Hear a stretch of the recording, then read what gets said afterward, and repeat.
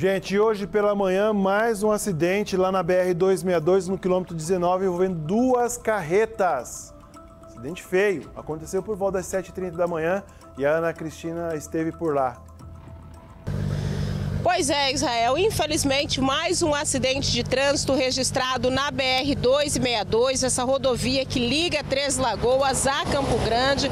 O acidente aconteceu na manhã desta terça-feira, aqui nas proximidades da Fazenda Rodeio, já quase chegando à entrada de Três Lagoas para quem vem sentido Campo Grande. O acidente envolveu duas carretas, uma delas estava carregada com bebidas, com cerveja.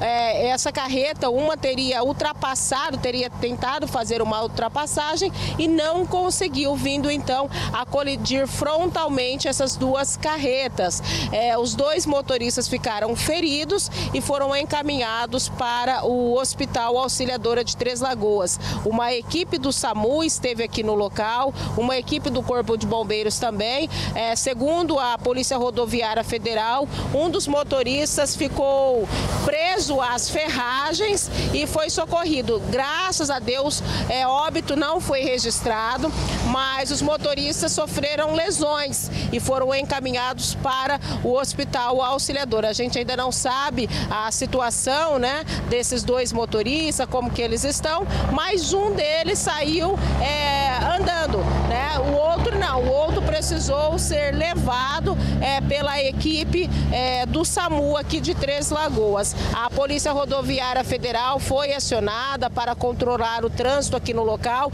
inclusive devido a esse acidente, houve um congestionamento aqui nesse trecho da rodovia, uma fila enorme de veículos se formou aqui no local devido à dificuldade para transitar. Por isso que a Polícia Rodoviária esteve presente para liberar um trecho da pista. Um guincho também foi acionado para fazer a retirada do veículo aqui no local. A gente vê que parte é, de um dos veículos da carreta, né, a traseira já foi retirada. Sobrando então aqui neste momento a outra carreta ainda carregada com cerveja, carregada com bebida. A gente vê aí nas imagens do nosso cinegrafista Max Silva a situação é, dessas carretas, desses veículos, né? A gravidade desse acidente. Olha, um dos veículos ficou praticamente destruído, né? Só sobrou parte ali desse veículo, o outro também a gente vê a, a, o vidro, né? Todo quebrado, a parte da frente dessa carreta totalmente totalmente destruída é, e foi necessário também todo um trabalho de jogar areia aqui na pista, porque por conta do combustível, né? O tanque de combustível estourou, é, vazou combustível aqui no local. A, o corpo de bombeiros então acabou jogando areia aqui para avisar é, que esse combustível vazasse, né? Se prolongasse aí pela pista é, da BR 262 para evitar mais acidentes de trânsito. Infelizmente, mais um acidente gravíssimo registrado aqui na BR-262. A gente fala gravíssimo pela situação